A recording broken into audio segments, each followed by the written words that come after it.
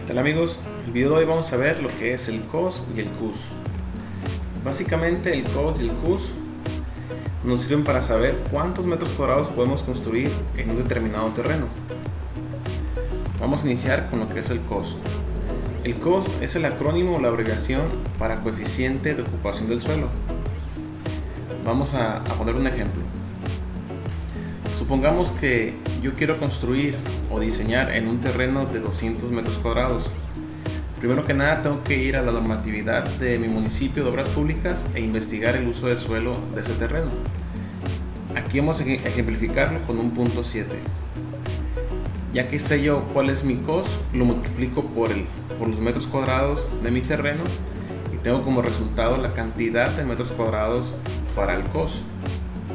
Vamos a ejemplificarlo gráficamente. Ese es el terreno del que yo les hablaba, de 10 por 20 metros cuadrados, por, por 20 metros lineales. Quiere decir que yo tengo 200 metros cuadrados de terreno. La normatividad me dice que solamente puedo construir 140. ¿Qué quiere decir? Que yo simplemente en la huella de mi terreno puedo construir 140 metros cuadrados. Y tengo que dejar libre esta área y esta área. O en su caso dejar 60 metros cuadrados de, sin construir para respetar el punto 7 de mi COS. Y es en, en planta baja, mi, primera, mi primer desplante sobre el terreno. Ahora vamos a pasar a ver lo que es el CUS. El CUS es la abreviación para coeficiente de utilización del suelo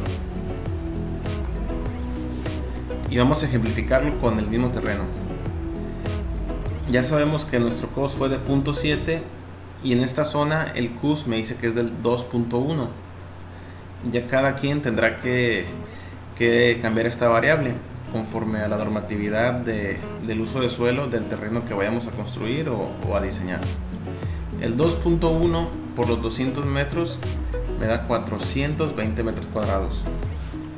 Esto quiere decir que yo tengo que seguir respetando mi COS, dejando libres los 60 metros cuadrados, pero que la sumatoria de la construcción no pase los 420 metros cuadrados del CUS.